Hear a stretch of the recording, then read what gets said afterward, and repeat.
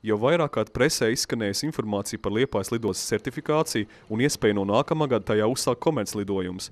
Tas devis pamatu līguma parakstīšanai Liepājas speciālo ekonomisko zonu, kas paredz, ka ostas sniegs glābējiem visu nepieciešamo tehnisko atbalstu, iespējamo avārijas seku novēršanai uz ūdens.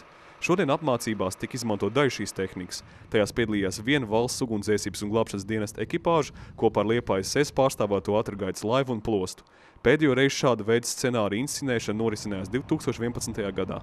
Kā apmācību vietā ziņoja pašu ugunsdzēsēji, inscenējums ir izdevies, tomēr grūtības sagādājas piebraucamais ceļš pie putnu novērošanas torņu uz Zirga salas, kas esot par šauru, lai tu varētu operatīvi apgriezties ar glābšanas dienesta automašīnām.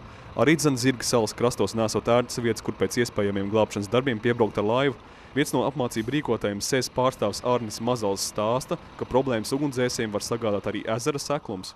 Dienesti jau noteikti rēģēja iespēju robežās, un tas, protams, atkarīgs no ūdens līmeņa, no meteoroloģiskiem laika apstākļiem. Tā pašā laikā ziemā var būt arī problēmas. Ja.